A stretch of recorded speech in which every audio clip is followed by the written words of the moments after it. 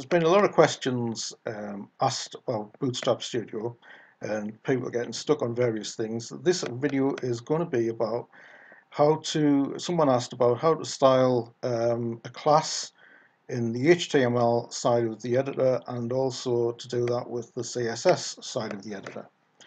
So if we just go up here and we'll put a div in, okay, just put that along there and move this up so we can see what we do. Body. Okay, so here we've got the div. So just element style. Okay, on the right hand side. And we just put that as um, height 50 pixels. Okay, and I will put uh, background color as um, again F90 I like I like orange for some reason. Anyway uh, so we're doing we're doing that okay? Right so what we're going to do here is we're just going to go convert to HTML so uh, we do that and then again we just click on there and we edit code. So here we are now with the HTML editor part. So you can put in um, as it's got a style there you can put in a class. So class equals just put test or whatever you want to do test.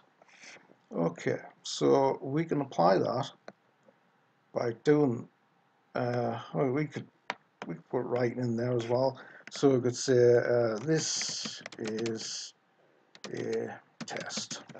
Okay. And so we just apply this okay. So we'll go to the styles part which is here and we're going to create a style. So what we're going to do is we're going to put well it actually puts it for us div.test you could you could just have. dot test if you wanted to but we're doing that so what we're going to do is we're going to change the color of the text. So at the moment it's this is the test. At the moment that's black by default, but we can put in color red. Okay, so that's how you do that. Um, also the uh, font size, so you can make that um, say uh, XX large. Eh? There we go. So if we do that, and that's basically all you do. So again, the custom code is there, you put your class there, wherever that may be. Um, you don't really even need to style that at that point where I've done, but you can.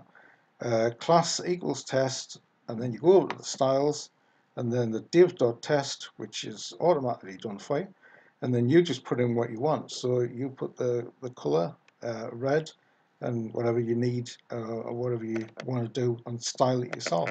And that's basically it. And how we do this, we just preview.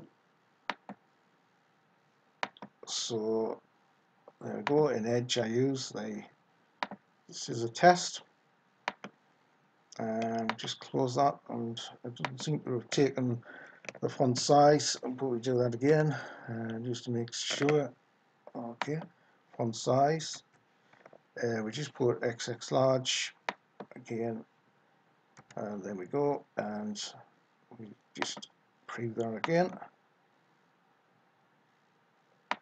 and there we are. So that's and that's how you test um, that's how you style the HTML and the CSS so I hope you've learned something from that and uh, thanks for watching again and thanks for listening